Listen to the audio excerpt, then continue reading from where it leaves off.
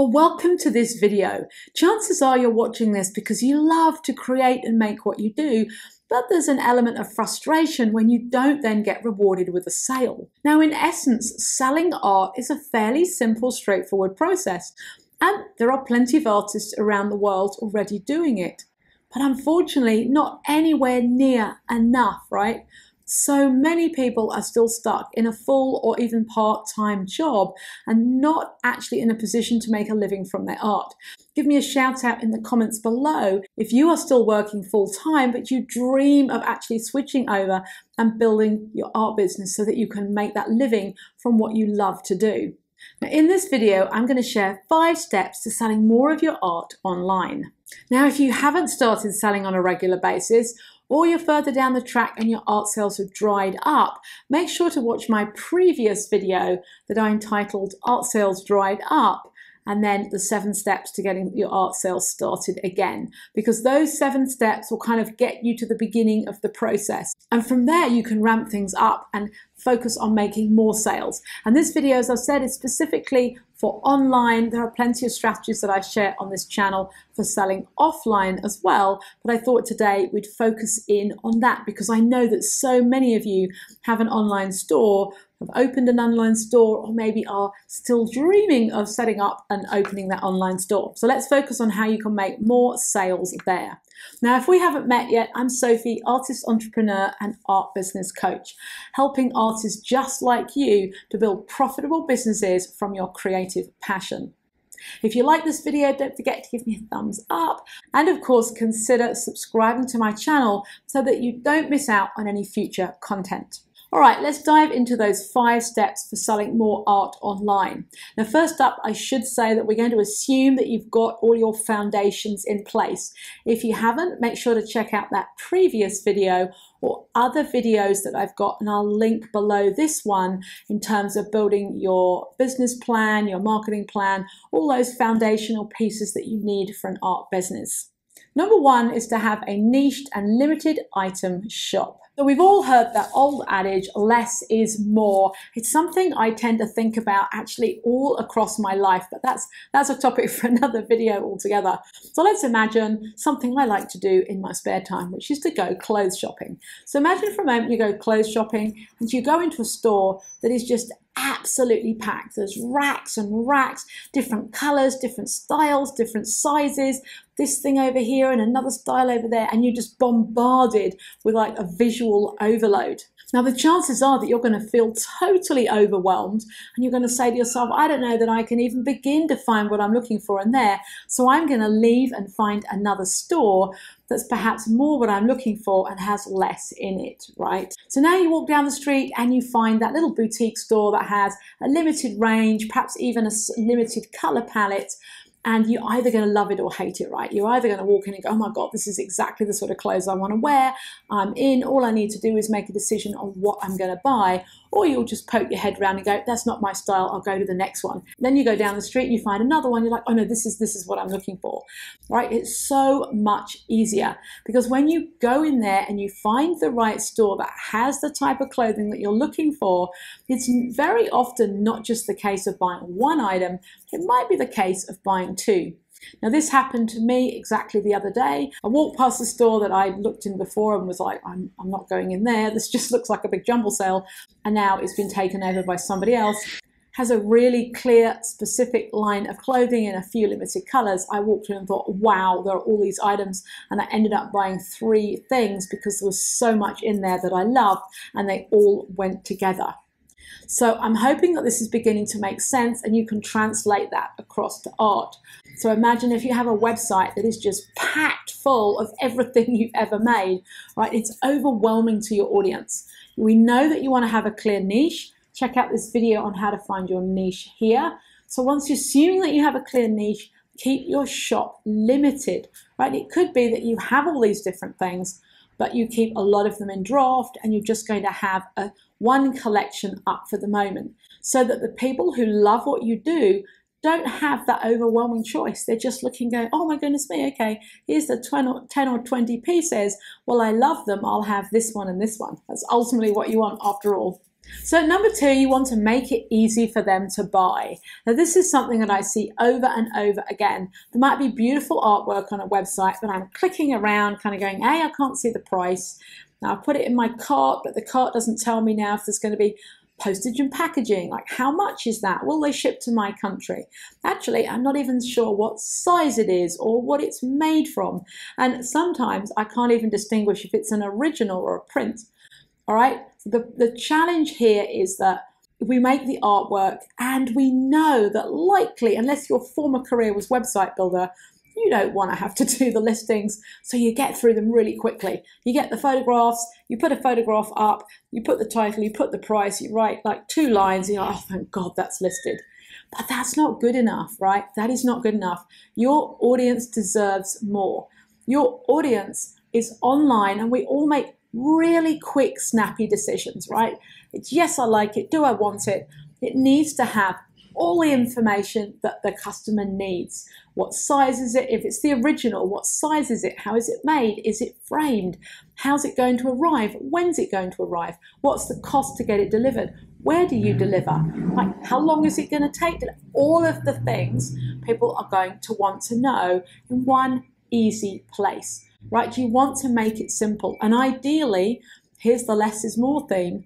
You ideally don't want them clicking around either right? It's there's the picture. I've clicked on the picture, it pops up, and there's all the information I need with a nice highlighted add to cart. And then when they've added it to cart, you want to make sure that the shopping platform that you have your website built on is really easy and simple to use. And it's again, it's got all the information on there for them to use. One click, they pay and they're out.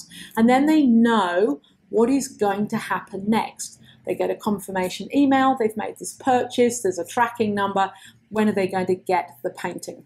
So you want to think about what are the things that the customer might want to know, right? List out all the things you would want to know if you were a customer, and then make sure you cover it all off. Because remember, if they've got a question, they're unlikely to reach out to you. They might do, but they might again just go, oh, this is too hard, I'm going somewhere else. It's very noisy in the studio this morning. Remember, if all the information isn't there, or they're at all confused, or they're uneasy to make the purchase, especially if it's an original and it's a large amount of money, they're going to leave and go somewhere else. Now, if you're selling on a third party site, if you're selling prints or cards or products or smaller items, then obviously that's a little bit easier. But again, we want to know as a customer all the information just quickly and easily. If it's a print, what sizes is it available in?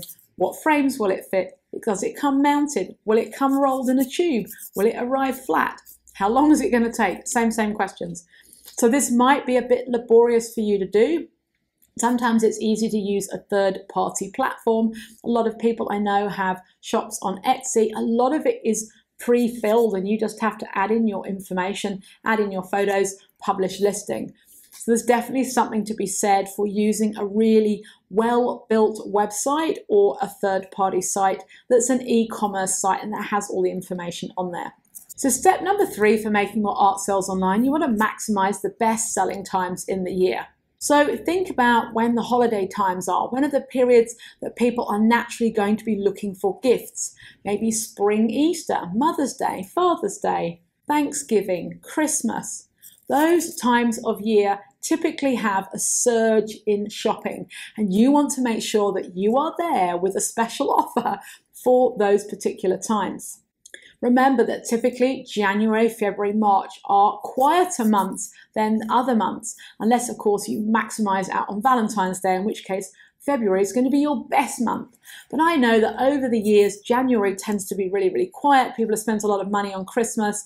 And so that typically there's a bit of a lull in product purchase in January. Things will pick up. For me, I used to find that August was a quiet month, especially when I was in the UK, school holidays, you know, everything geared up for September. So think about where you live, think about your business type, your products, what are times of the year or yearly festivals that you can plug into that you know are going to be high sales point. Typically, Christmas is going to be one for everybody, so you want to think about that sort of October, November time as being peak time for you to be making your online art sales. Plan for this. You know, in your business plan, you'll be planning it all out. I would typically use my quarter planner that's part of that business plan to plot out when I would be doing all of those sales. Talking of, step number four is to make regular sales offers. So I don't want to say that no sales will happen without a promotion because that's not true. You will make organic sales, but again, we just don't know when that's going to happen. You might make one one month, nothing for two months, 10 the next month. It's much easier if you are more in control of that. So by creating these short time-based offers that ideally you can send out on your mailing list, we've talked about this in the previous video, then you're more in control. You'll begin to know the numbers. I have this number of people on my mailing list. When I send out an offer with a discount code, I typically convert this percentage of my mailing list and make sales. And it will be much easier for you to be in control of that. Remember, of course, you don't always want to be selling in terms of your marketing. So you want to have periods where you're simply sending out valuable marketing content that's of interest to your audience. If everything you send is a sales email or sales social media post, people will unfollow really, really fast. Make sure, as I said, that they're planned ahead of time so you're not suddenly thinking, oh, goodness me, um, I need to do an offer, I'll do one next week. You've got that planner and you're thinking, ha, okay, my next one is going to be in April and it's now February, so I've got plenty of time to think ahead. You know, how long am I going to be doing kind of organic, nice, value based posts? Now it's time to build up to that offer.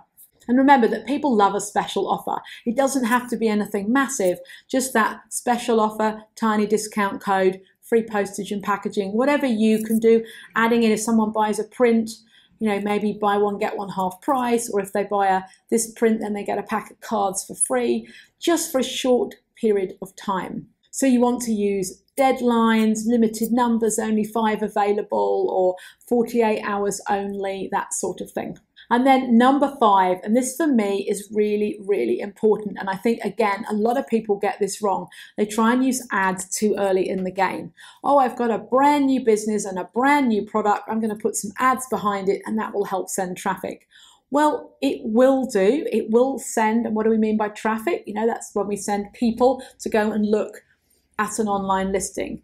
So imagine for a moment you set up your own website and you've decided to run some Google ads or some Facebook or Instagram ads, and you've got this budget, and you put this budget behind ads to these products. But if we don't really know if people are going to buy the products, you could end up spending a huge amount of money for nothing.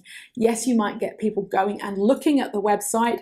You might with fingers crossed, get some people signing up to the mailing list, but you don't have any guarantees that you're going to make any sales. So, what I recommend instead is step five, you wait until some sales are happening, and you'll see after a while if you've got, I don't know, 10 prints for sale and you've seen that three of them are what people typically buy that they're the most popular ones that people buy that's the moment that you say okay well if i'm making 10 sales a month from these what if i put some ads behind that and i started making say a hundred of these per month.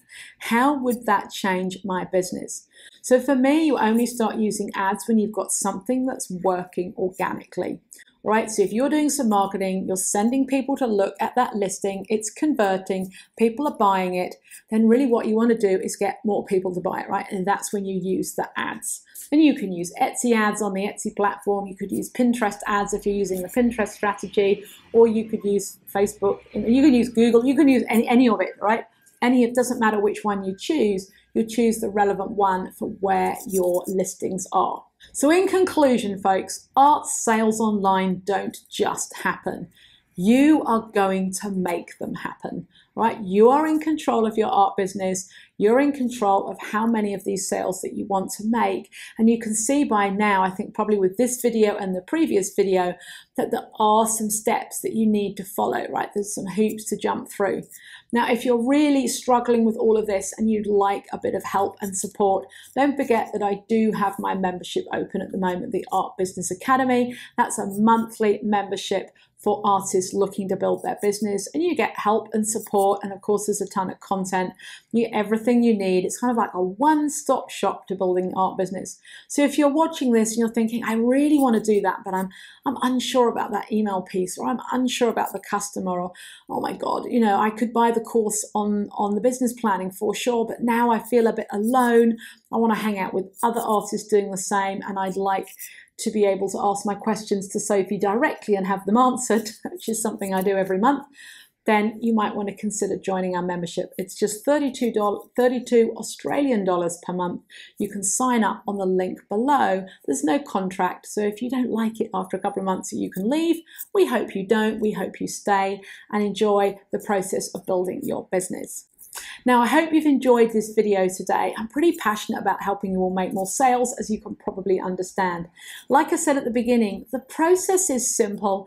There are these different parts though. You do need to go through all of these steps. Missing one out is mean, it's going to mean, it's a bit like an ingredients, isn't it? You're going to make a cake. There are seven ingredients to the cake, but you've only got five of them. You know, if the two, two are missing from the cake, like your eggs and your sugar's missing, that's not really going to make a great cake. It's the same here. All right, so make sure that you follow all of these steps and give us a shout out in the comments if you are excited and you're going to be doing this process and you want to make more sales. We'd love to hear from you. Thank you so much for watching and we'll see you on the next one. Bye bye.